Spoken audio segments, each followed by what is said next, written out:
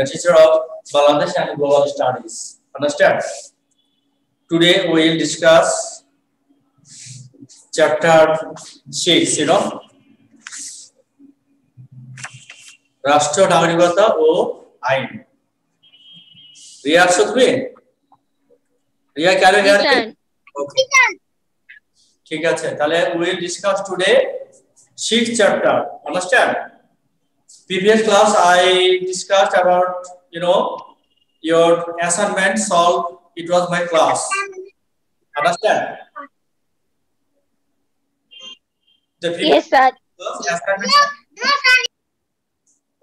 তোমাদের তোমার ভাইয়া একটু ডিস্টার্ব করছে ওকে একটু দূরে সরাও নাহলে সাউন্ড সিস্টেম মুড করে রাখো ঠিক আছে? ঠিক আছে তাহলে দেখো রাষ্ট্র নাগরিকতা ও আইন। তো তোমরা সবাই ভালো আছো তো নাকি?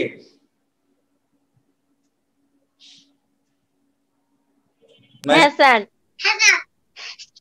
আচ্ছা তোমার ভাইয়া বলছে আচ্ছা। আচ্ছা অ্যাসাইনমেন্ট ঠিক মতো লিখতে পারছ তো? স্যার আচ্ছা আমার ক্লাসটা দেখেছিলে না? ক্লাস তোমাদের অ্যাসাইনমেন্টের পরে যে সব ক্লাস ছিল?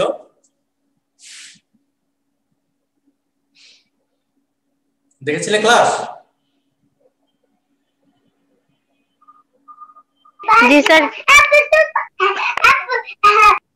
তোমার ভাইয়াকে একটু পাঠাই দাও রিয়া কারণ এগুলো তো ভিডিও হচ্ছে এগুলো তো আপলোড করা হবে তখন যে সমস্যা হবে ঠিক আছে? ঠিক আছে দেখো। তো গত ক্লাস থেকে কিছু ধরি কি বলো? পারবা?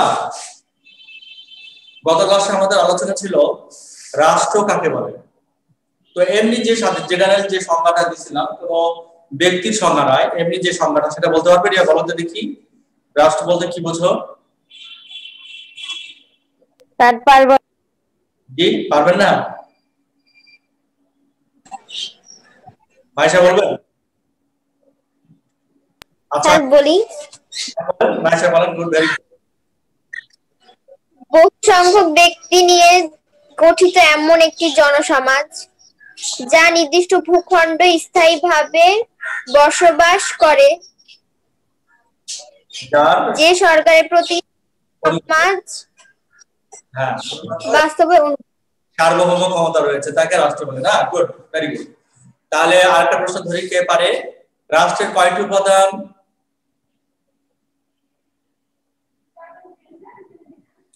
রাষ্ট্রের কয়টি উপাদান? উপাদান কয়টি উপাদান রাষ্ট্র গঠিত? কয়টি? চারটি। চারটি। উপাদান নিয়ে রাষ্ট্র গঠিত। জনসমষ্টি নির্দিষ্ট ভূখণ্ড সরকার ও সার্বভৌমত্ব। তো আমরা একটু আলোচনা করেছিলাম ঠিক আছে আজকে আমরা শুরু করি। দেখো রাষ্ট্রর কাজ।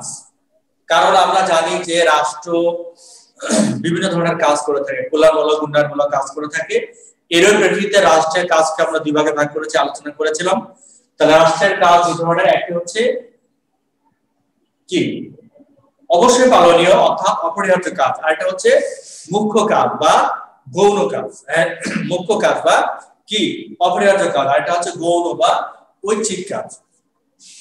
তাহলে অপরিহার্য বা মুখ্য কাজ কোনগুলা? সেই কাজগুলা সেগুলাই যেগুলা রাষ্ট্রকে অবশ্যই করতে হয়। অর্থাৎ রাষ্ট্রের সার্বভৌম ক্ষমতা টিকে রাখার জন্য রাষ্ট্রের আইন শৃঙ্খলা পরিস্থিতি ঠিক রাখার জন্য রাষ্ট্রকে যে কাজগুলো অবশ্যই করা লাগে সেগুলো হচ্ছে অপরিহার্য বা মুখ্য কাজ করতেই হবে। যেমন যেমন তোমার সেনাবাহিনী অথবা প্রতিরক্ষা খাতে সরকার ব্যয় করছে তারা প্রতিরক্ষা খাত অর্থাৎ সেনাবাহিনী, বিমান বাহিনী নৌবাহিনীর সদস্যগুলা এগুলোকে প্রতিপালন করা, এই যে এগুলো হচ্ছে সরকারের অপরিহার্য কাজ। আর ঐচ্ছিক কাজ বা মুখ্য গৌণ কাজগুলো আমরা কোনগুলো বলেছিলাম? যেগুলো সরকার ইচ্ছা করলে করতে পারে, আবার নাও করতে পারে। অর্থাৎ সরকারের ইচ্ছার উপরে নির্ভর করছে। তাহলে সরকার এই কাজগুলো কেন করে? এগুলো করে হচ্ছে জনগণের অর্থনৈতিক সামাজিক উন্নয়নের জন্য রাষ্ট্রের উন্নয়নের জন্য। তাহলে রাষ্ট্র ঐচ্ছিক কাজগুলো কেন করে বলতো দেখি।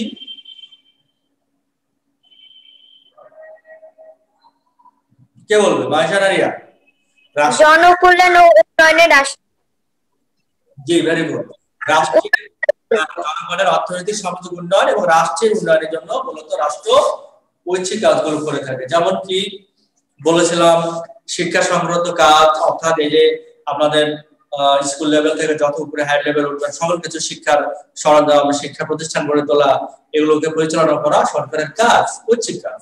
স্বাস্থ্য বিষয় অর্থাৎ আমাদের স্বাস্থ্য সুরক্ষার জন্য সরকার বিভিন্ন ধরনের মেডিকেল হসপিটাল ক্লিনিক এগুলো স্থাপন করেছে এবং এগুলো পরিচালনা করছে। তারপর অবকাঠামো নির্মাণ, আমাদের যাতায়াত, যোগাযোগ ব্যবস্থা যাতে আমরা সহজে করতে পারি, এই জন্য সরকার কি করেছে? আপনারা জানেন যে সরকার রাস্তাঘাট, পুল, সেতু, পার্ক, এগুলো নির্মাণ করে, বিনোদনের জন্য এগুলো নির্মাণ করছে ঐচ্ছিক কাজ। তারা এগুলো করে না সরকার? করে তো। ব্যবসা বাণিজ্য প্রতিষ্ঠানের জন্য বন্দর নির্মাণ করে, স্থল বন্দর, নৌ বন্দর, তাই না? নাকি? জি এগুলো হচ্ছে রাষ্ট্রের কাজ। এখন আমরা পড়ব নাগরিক। কি বলতো? নাগরিক। নাগরিক। সাধারণত যারা নগরে বসবাস করে নাগরিক তাদেরকে নাগরিক বলে। এখানে দেখতে পাচ্ছেন কিছু দেখেন তো। হ্যাঁ স্যার দেখতে পাচ্ছি। বুঝতে পারছেন কিছু? একটি রাষ্ট্রের জনগণ না। কাছে নেব না একটু দূরে নেব। জনগণ দেখতে পাচ্ছেন? জি স্যার। হ্যাঁ। হ্যাঁ এই জনগণ।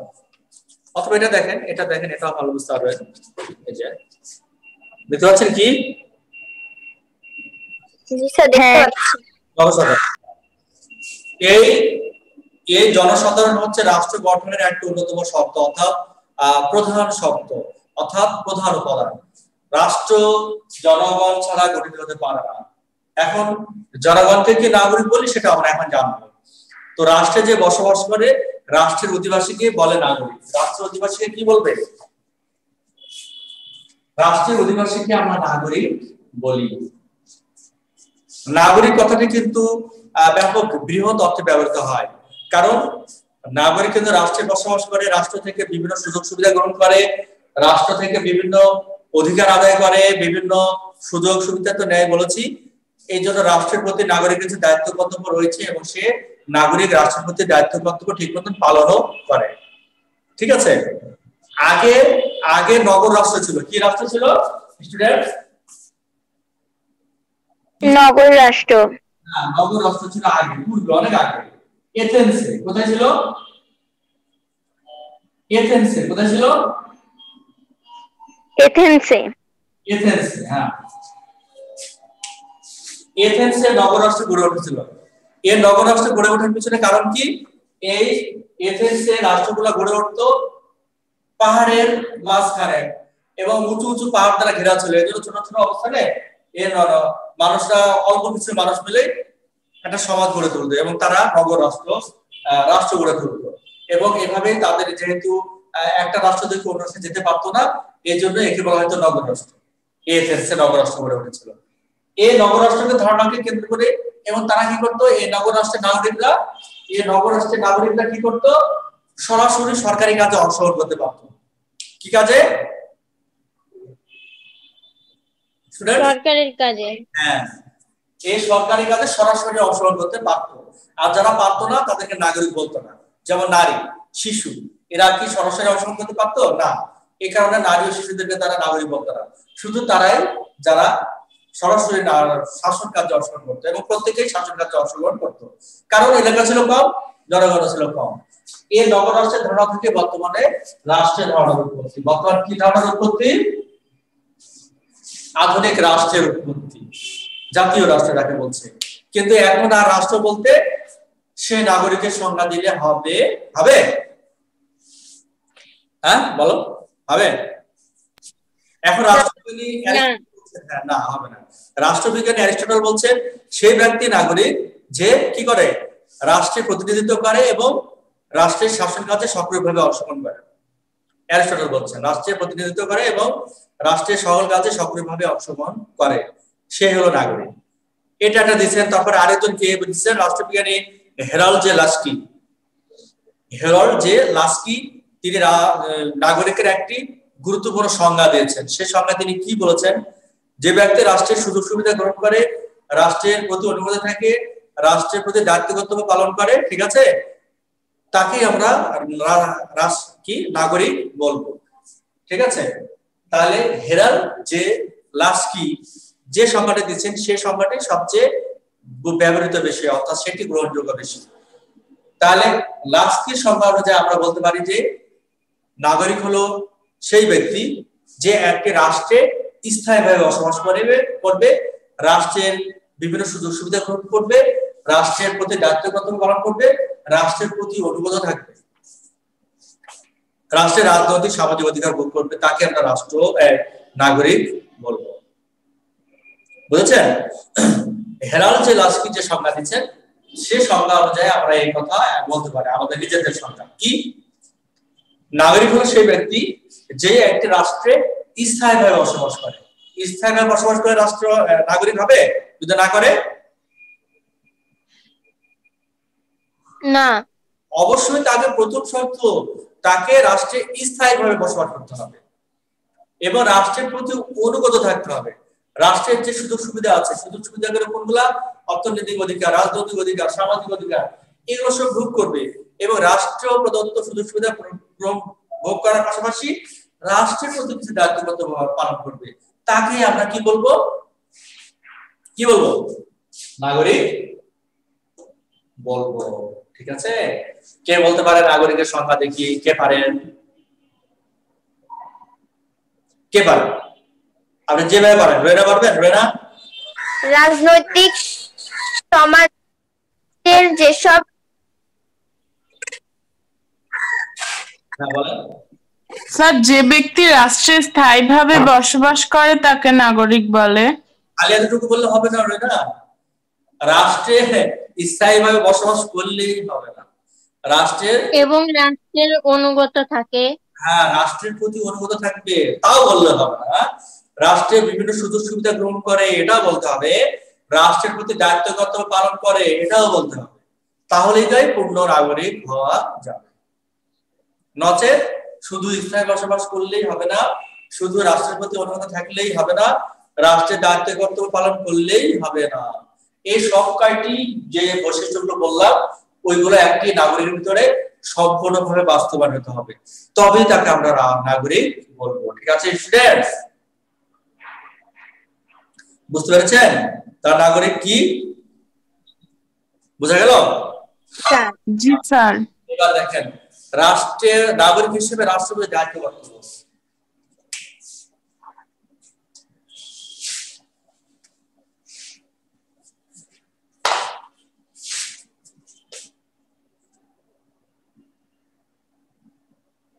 নাগরিকের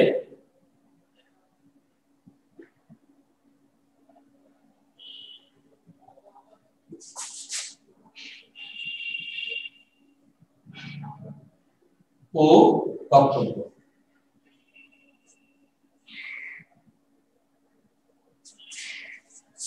নাগরিকের দায়িত্ব ও কর্তব্য। দেখেন, নাগরিকের দায়িত্ব ও কর্তব্য কিন্তু বিশাল।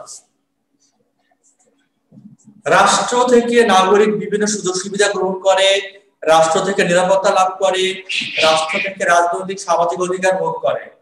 তাই, রাষ্ট্রের প্রতিও নাগরিক কিছু দায়িত্ব কর্তব্য রয়েছে।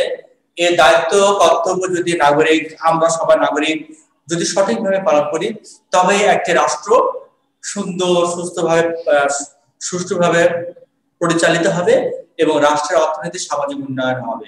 তাহলে প্রথমে কি কাজ রাষ্ট্রের নাগরিকের প্রতি, নাগরিকের কি কাজ রাষ্ট্রের প্রতি? প্রথমে হচ্ছে কি? রাষ্ট্রের প্রতি অনুগত থাকা। রাষ্ট্রের প্রতি কি থাকা? অনুগত থাকা। অনুগত মানে অনুগত মানে কি? বলেন।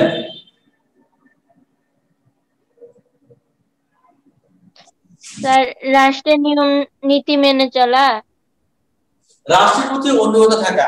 যেমন আপনি আপনার পরিবারে বাবা মার প্রতি অনুগত। মানে বুঝতে পারছেন? আপনার বাবা মার কথা শুনি।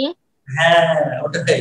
বাবা মার প্রতি অনুগত। অর্থাৎ আপনি বাবা মার কথা শুনেন তাদের ভালো মতো দেখেন তাদের কষ্ট পেলে আপনার কষ্ট লাগে তাদের দুঃখ দিলে আপনার দুঃখ লাগে তাই না? তারা অসুস্থ হলে আপনার খারাপ লাগে না? এটাই তো এটাই তো নাকি? হ্যাঁ স্যার। এটা হচ্ছে অনুগত থাকা। অর্থাৎ রাষ্ট্রের যাতে কোনো সমস্যা না হয় রাষ্ট্রের যদি ক্ষতি না হয় রাষ্ট্র যাতে সুন্দর সুষ্ঠুভাবে পরিচালিত হয় এগুলোকে এগুলোকে দেখা রাষ্ট্রের ক্ষতি হয় এমন কাজ না করা এগুলো হচ্ছে রাষ্ট্রের প্রতি অনুগত থাকা। রাষ্ট্র যেটা করবে সেটা অবশ্যই আপনাকে করতে হবে। এটা হচ্ছে রাষ্ট্রের প্রতি অনুগত থাকা। ওকে? দুই নম্বর কি? নিয়মিত কর দেওয়া নিয়মিত কি? কি দাও কর প্রদান করা। জি নিয়মিত কর প্রদান। কর নিয়মিত কর প্রদান করতে হবে। আমরা প্রত্যেকে কিন্তু কর দিচ্ছি। এই যে আমি চশমা কিনেছি শার্ট কিনেছি আপনারা যা যা কিনছেন প্রত্যেকে কিন্তু কর দিচ্ছি। এটা হচ্ছে আমরা কর। আর একটা কর, আরও হচ্ছে কর আছে, যেমন বাড়ির কর, বাড়ির হোল্ডিং ট্যাক্স বিদ্যুৎ বিল, পানির বিল, গ্যাসের বিল, সবকিছুই আমরা দিচ্ছি। তারা জমির ট্যাক্স খাজনা যাকে বলে, এগুলো সব আমরা দিচ্ছি। এগুলোকে আমরা প্রতিনিয়তই দিতে হবে, অর্থাৎ নিয়মিত আমাদেরকে দিতে হবে। দশ বছর পরে একবার দিলাম, আমার হয়ে গেল, তা না। প্রতি বছর বছরে যখন যখন আসে, অর্থাৎ বাড়ির ট্যাক্স খাজনা, এগুলো বছরে তো মাসে দিতে হয়। বছরে এবং পানির বিলগুলো ছয় মাস অন্তর এবং বিদ্যুৎ বিল তো প্রতি মাসে দিতে হয়, তাই না? তো এগুলো আমাদের প্রতিনিয়তই নিয়মিত দিতে হবে। কারণ সরকার, একটি সরকার পরিচালিত হতে অনেক টাকা প্রয়োজন হয়। আর এই টাকাগুলো কোথায় পেয়ে থাকে? এই যে নিয়মিত কর। এই কর থেকেই সরকার এই টাকাগুলা পেয়ে থাকে। এই জন্য আমাদের প্রতিনিয়ত কর দিতে হবে। কারণ এই কর ছাড়া রাষ্ট্র সঠিকভাবে পরিচালিত হতে পারে পরিচালিত হতে পারে। বলেন। পারে? না। তারপরে কি অধিকার বলব?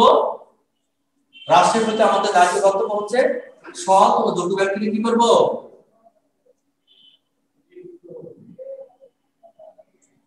সৎ ও যোগ্য ব্যক্তিকে কি করব আমরা? ভোট দিব না? নাকি? সৎ যোগ্য ব্যক্তিকে ভোট দিব, নির্বাচন করব, নির্বাচনে অংশগ্রহণ করব। আমরা বর্তমানে যাকে ভোট দিব, সে যেন সৎ হয়, যোগ্য ব্যক্তি হয়, আপনার আপনার আমার আপনার কথা শুনবে, আমার আপনার এলাকার অর্থনৈতিক, সামাজিক উন্নয়নে ভূমিকা পালন করবে, এমন ব্যক্তিকে তো ভোট দিতে হবে নাকি? তাই না? নাকি? বলেন। হ্যাঁ এই সৎ যোগ্য ব্যক্তিকে ভোট দেওয়া আমার দায়িত্ব রাষ্ট্রের প্রতি। কারণ রাষ্ট্র পরিচালিত হবে ওই ব্যক্তি দিয়ে আর ওই ব্যক্তি যদি দুর্নীতিগ্রস্ত হয় বেয়াদব হয় দুষ্ট হয় তাহলে রাষ্ট্রের উন্নয়ন হবে? না। তারপর কি? রাষ্ট্রের কাজ সুষ্ঠুভাবে সম্পাদন করা।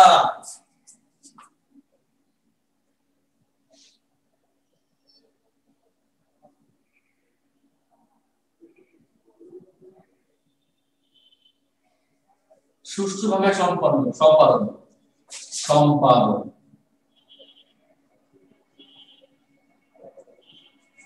রাষ্ট্রের কাজ সুষ্ঠুভাবে সম্পাদন, অর্থাৎ রাষ্ট্র যে কাজগুলো করে থাকে, আপনার যেমন পদ্মা সেতু করে, অথবা বিভিন্ন ধরনের সেতু, ব্রিজ, কালভার, রাস্তাঘাট বিভিন্ন অবকাঠামো নির্মাণ যাই করে এই রাষ্ট্রের কাজগুলো যাতে সুষ্ঠুভাবে হয়, কোন রকমের বাধা প্রদান করা যাবে না। এগুলো হচ্ছে আমাদের কাজ। এবং এর সুষ্ঠু তদারকি করাও দরকার, যাতে তোমার রডের বদলে বাঁশ না দিতে পারে, সিমেন্ট যা পরিমাণ দেওয়া দরকার, তার চেয়ে কম দিচ্ছে। তাহলে কি হবে? তাহলে আহ, যে অবকাঠামো নির্মাণ হচ্ছে সেটা হচ্ছে ধ্বংস হবে ভেঙে পড়বে। তাহলে এটা আমাদের ক্ষতি কারণ এটা তখন কোনো কাজেই আসবে না। তাহলে এগুলো আমাদের দেখতে হবে। দেশ প্রেম দেশ প্রেমে উদ্বুদ্ধ হতে হবে। কি প্রেমে? দেশ প্রেম নাকি? স্টুডেন্টস হ্যাঁ স্যার। হ্যাঁ স্যার। দেশের প্রতি ভালোবাসা রাখতে হবে। অর্থাৎ দেশের প্রতি ভালোবাসা কি করে হবে? দেশকে ভালোবাসবেন কি করে? এটা তো দেখা যায় কি? ভালোবাসা দেখা যায়? বলেন। না স্যার। বলে আপনি আপনার বাবা মাকে কতটুকু ভালোবাসেন? বলবেন যে এতটুকু ভালোবাসি। হবে? হবে? এতটুকু ভালোবাসি। হবে? হবে? পরিমাপ আছে দেখো না। না।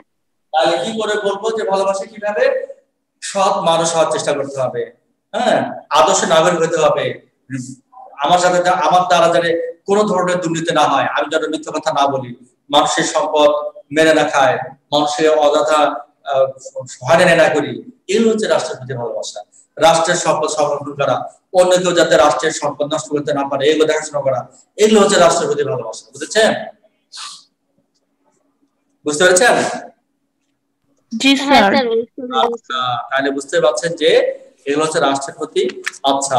এখন করব আমরা আইন। এই যে আলোচনা হলো কারও কোনো সমস্যা আছে?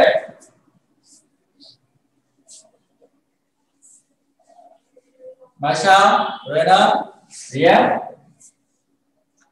রিয়া আপনাদের সমস্যা আছে কোনো? না। আইন। আইন।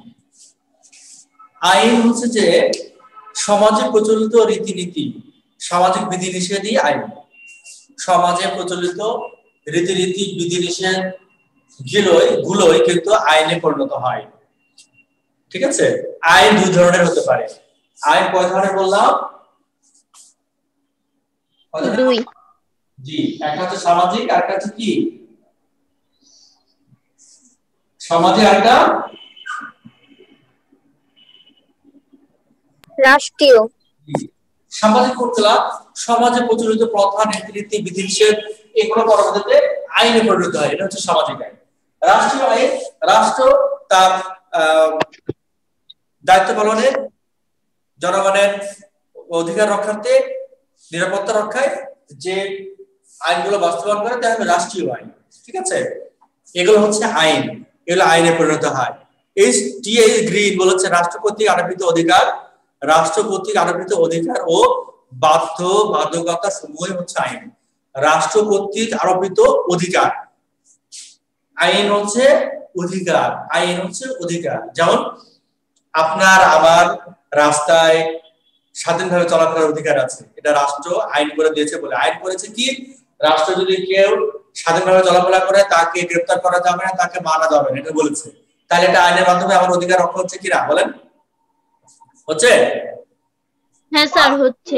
বাধ্য বাধ্যগত সমূহ অর্থাৎ বাধ্য। রাষ্ট্র আমার অধিকার থেকে বাধ্য কারণ আমি রাষ্ট্রের নাগরিক। এই জন্য টিএস গ্রিন বলেছেন তোমরা মুক্ত করে নেবে টিএস গ্রিন হল্যান্ড, অধ্যাপক হল্যান্ড, কি বলেছেন তিনি? তিনি বলেছেন যে মানুষের আইন হচ্ছে এমন কতগুলো জিনিস যেগুলো মানুষের বাহ্যিক আচরণকে নিয়ন্ত্রণ করে। মানুষের বাহ্যিক আচরণ, অর্থাৎ আমাদের ভিতরে তো আচরণ নেই। আমাদের বাহ্যিক আচরণ অর্থাৎ আমরা যেগুলো সচরাচর করি, এগুলোকে নিয়ন্ত্রণ করার জন্য কি করে? কতগুলো কি নিয়ামক যেগুলো, যেগুলা সার্বভৌম শক্তি কর্তৃক প্রদত্ত। অর্থাৎ অর্থাৎ কিছু অধিকার কিছু অধিকার যেগুলো দিয়েছে, সেগুলো কে দিয়েছে? রাষ্ট্র দিয়েছে। সার্বভৌম সার্বভৌম শক্তি মানে কি? রাষ্ট্র না? সার্বভৌম শক্তি মানে রাষ্ট্র না? এই শক্তি কিছু আইন প্রণয়ন করেছে, যেগুলো আমাদের বাহ্যিক আচরণকে নিয়ন্ত্রণ করে। আর যদি আচরণ করে নিয়ন্ত্রণ না করতো, তাহলে আমরা কি হইতাম? আমরা বেপরোয়া হয়ে উঠতাম। সরকার যদি না থাকে, তাহলে কি বেপরোয়া হয়ে ওঠে মানুষ? ছিল না এরকম ঘটে না এরকম?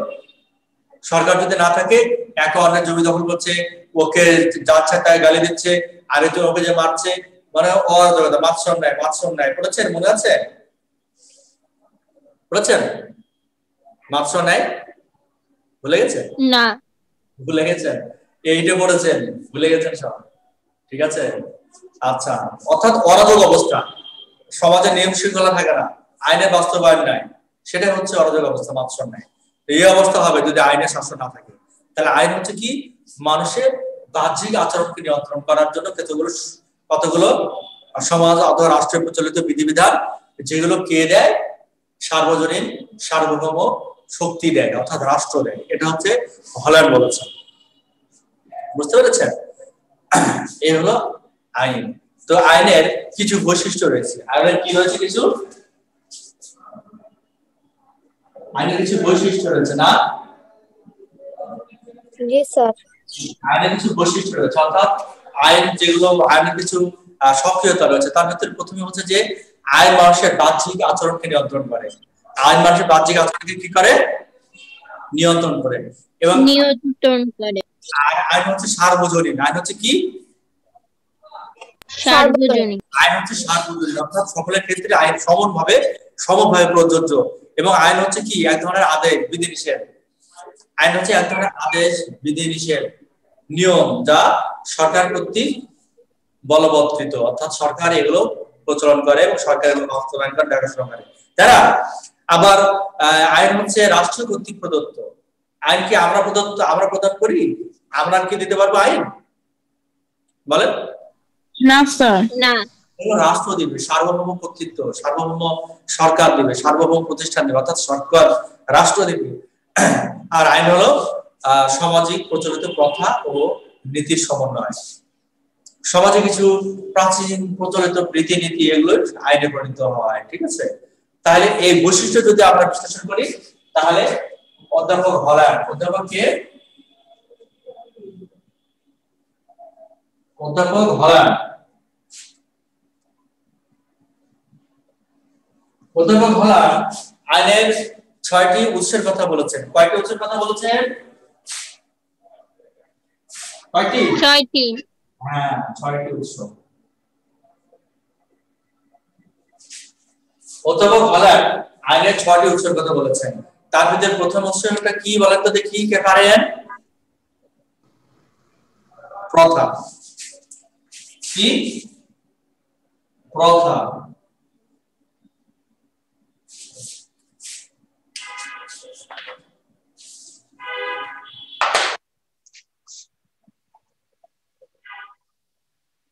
প্রথা। আইনের প্রধান উৎস হচ্ছে প্রথা। প্রথা হচ্ছে সমাজে প্রচলিত কিছু রীতিনীতি, বিধিনিষেধ, এগুলো পরবর্তীতে আইনে পরিণত হয়। ঠিক আছে? এগুলো হচ্ছে সামাজিক অনুশাসন। এগুলো যদি আইনে পরিচালিত আইন রূপে বাস্তবায়ন না হয় তাহলে সমাজে বিশৃঙ্খলা দেখা দেবে সমাজে অরাজকতা দেখা দেবে। এই জন্যই সামাজিক কিছু বিধিনিষেধ আইনে পরিণত হয়। প্রতিটা রাষ্ট্রীয় সরকার এগুলো আইনে পরিণত করতে বাধ্য হয় ঠিক আছে? এগুলো হচ্ছে প্রথা এবং এটি হচ্ছে আইনের একটি প্রাচীনতম উৎস। এগুলো হচ্ছে আইনের একটি কি? প্রাচীনতম উৎস। প্রাচীনতম উৎস। তারপর কি আছে? তারপরে আছে কি? ধর্ম।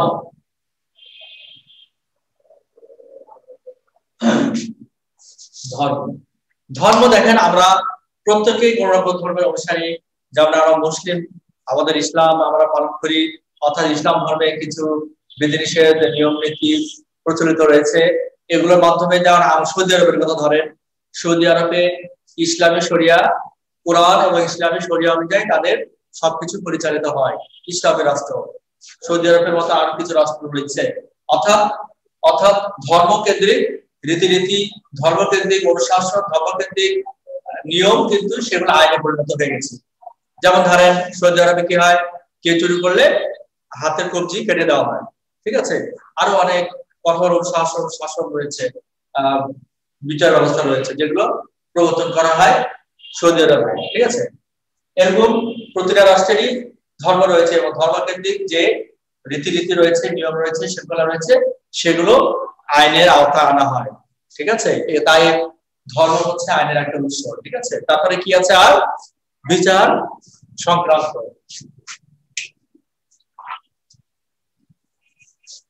বুঝতে পারছেন আপনারা?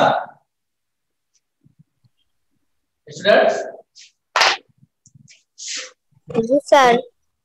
পারলে চেষ্টা করবে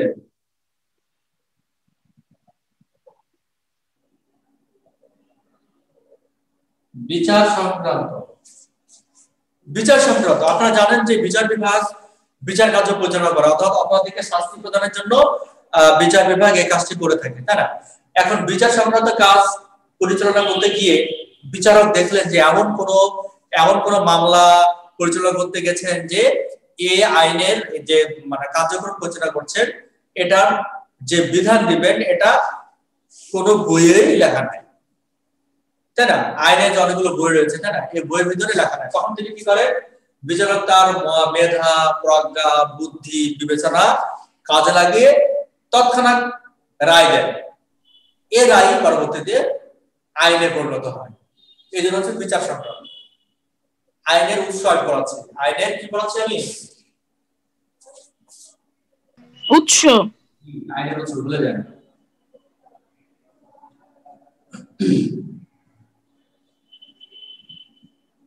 আইনের উৎস আচ্ছা আমি বলছি যে বিচার সংক্রান্ত ব্যবস্থা আইনের উৎস। কারণ বিচার করতে যে বিচারক এমন কোন সমস্যায় পড়ে যখন বিচার কার্যক্রম পরিচালনার যে রায় দিবে সেটি কোনো বইয়ে লেখা নাই সংবিধানও নাই। তখন তিনি তিনি মেধা, প্রজ্ঞা, অভিজ্ঞতাকে কাজে লাগিয়ে একটি রায় সমস্যা হয় এই রায় তখন আইনে পরিণত হয়। এটা হচ্ছে বিচার সংক্রান্ত। বুঝতে পেরেছেন? তারপরে বিজ্ঞানসম্মত আলোচনা।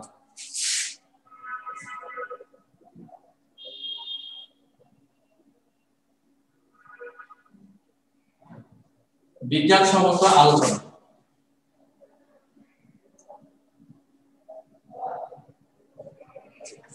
বিজ্ঞানসম্মত আলোচনা, অর্থাৎ দেখেন, এটা প্রায় এরকম, বিচার সম্পদে এখানে কি হয়? বিচার সংক্রান্ত আলোচনার ক্ষেত্রে কি হয়? বিজ্ঞান সম্মত আলোচনার ক্ষেত্রে কি হয়? ওই যে বিচারক, বিচার সংক্রান্ত কার্যক্রম পরিচালনা করতে গিয়ে তিনি দেখেন যে যে মামলা পরিচালনা করছেন ওইটার কিছু আইন সংক্রান্ত কিছু বিষয় লেখা আছে, কিন্তু এর ব্যাখ্যা নাই। ঠিক আছে? অর্থাৎ কি বিচার দিলে, কোন ধারায় কোন বিষয়ে এই মামলাটা রায় দেওয়া যায়, এগুলো তখন বিস্তারিত লিপিবদ্ধ থাকে না। তখন তিনি কি করেন? এটা বিজ্ঞানসম্মত আলোচনা দেন। ওই যে তোমার বিজ্ঞানসম্মত কিছু ব্যাখ্যা দেন নিজেন এবং এটার মাধ্যমে তিনি কি করেন? প্রাসঙ্গিক কথা প্রাসঙ্গিক ওটার সাথে মিলে যায় এমন কথাগুলো তিনি প্রয়োগের মাধ্যমে একটি রায় দেন এবং সেটি পরবর্তীতে আইন হিসেবে বলবৎ হয়ে যায় আইন হিসেবে কার্যকর হয়ে যায়। বুঝতে পেরেছেন? হ্যাঁ স্যার। জি স্যার। এগুলো হচ্ছে ন্যায়বোধ আইনসভা। ন্যায়বোধ। এবং লাস্ট আইনসভা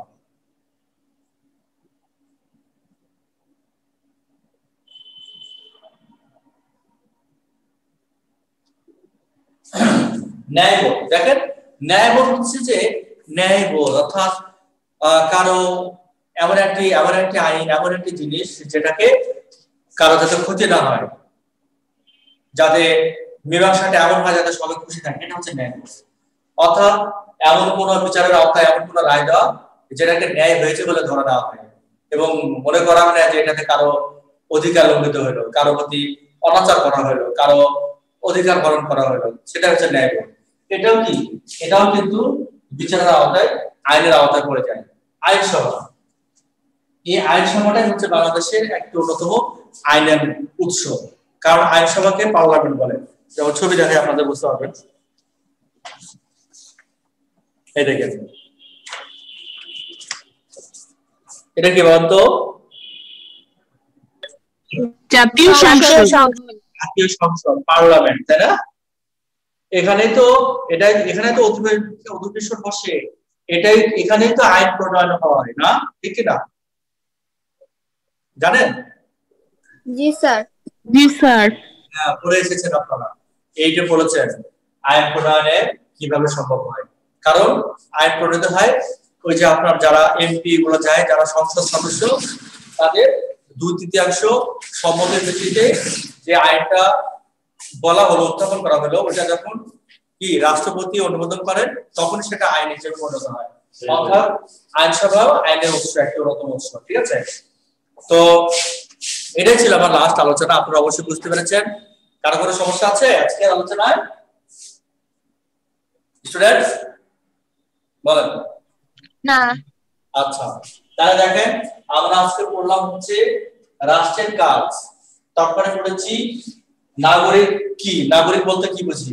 তাহলে নাগরিক বলতে কি বুঝি আমরা? যারা রাষ্ট্রীয় বসবাস করে রাষ্ট্রের দায়িত্ব পালন করে রাষ্ট্রের প্রতি অনুরোধ থাকে রাষ্ট্রের অধিকার রাষ্ট্রের প্রতি অনুরোধ থাকার পাশাপাশি রাষ্ট্রের কল্যাণ কামনা করে। তারাই হলো নাগরিক। নাগরিকের কাজ কি? আমরা করেছি তারপরে পড়লাম আইন কি? আইনের বৈশিষ্ট্য পড়েছি আইনের উৎস পড়েছি অনেকগুলো পড়ে হয়েছে না কার কোনো সমস্যা আছে? না স্যার। আচ্ছা আপনারা অ্যাসাইনমেন্টের পাশাপাশি এগুলো পড়বেন কারণ আপনারা নাইন থেকে নাইন থেকে টেনে উঠবেন। এজন্য এগুলো অবশ্যই আপনাদের পড়াশোনা করতে হবে। ঠিক আছে? কারণ এগুলো আপনারা টেনে উঠবেন তারপরে এসএসসি পরীক্ষা দেবেন। এগুলো যদি আপনারা এখন না পড়েন তাহলে এগুলো গ্যাপ থেকে যাবে এবং গ্যাপ পূরণ করা খুবই কষ্টসাধ্য। এই জন্য অবশ্যই পড়বেন।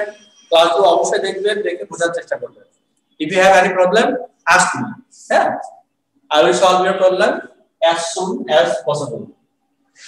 so no more today I hope you will learn, you will study properly and কি? আপনারা সর্বদা কি করবেন? সর্বদাই সদা সদা সত্য কথা বলবেন। কি কথা বলবেন? সর্বদা সত্য কথা কি? সর্বদাই সদা সত্য কথা বলবেন। কথা বললে কি হয়? আল্লাহ যখন সাহায্য সাহায্য করে। তেমনি পাড়া প্রতিবেশী সকলে ভালোবাসে। সত্যবাদীকে সবাই ভালোবাসে। আমাদের নবীজি কি ছিলেন? বলেন। সত্যবাদী। তাকে কি বলা হতো? আল আমিন কখন বলা হতো? নবুয়ত প্রাপ্তির আগে আল আমিন বলা হতো না? নাকি?